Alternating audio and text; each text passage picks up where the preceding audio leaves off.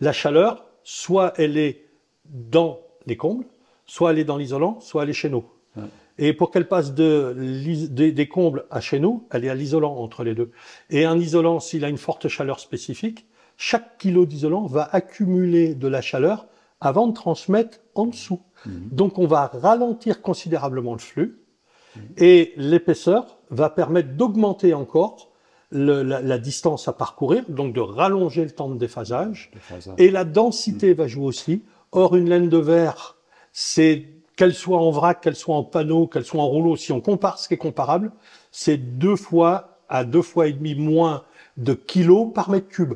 J'ai donc moins de capacité par kilo, moins de kilos par mètre cube et moins d'épaisseur. Ouais. Et donc forcément, ma chaleur, elle passe très vite l'été. Et le déphasage, bah, il est pas nul, mais il est loin d'être ce qu'on peut avoir avec un, un isolant végétal.